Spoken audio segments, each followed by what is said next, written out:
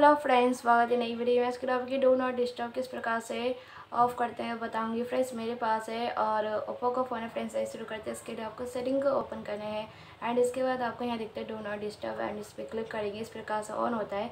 इस तरीके से ऑफ़ होता है। क्यों ऑन करते सब लिखा हुआ है यहाँ पर देख सकते एंड इस तरीके से ऑन होगा, इस तरीके से ऑफ़ होगा। और इससे वाइब्रेशन जो टोन होता है, वो सब साउंड नहीं आता। क्योंकि अगर आप जैसे स्क्रीनशॉट ले रहे होते तब ये ऑन है, तब आप स्क्रीनशॉट लेंगे तो कोई साउंड नहीं आएगा, देख सकते हैं। और इस तरीके से ऑफ़ है आप आप स्क्रीनशॉट लेंगे तो एग्ज़ाम रहेगा।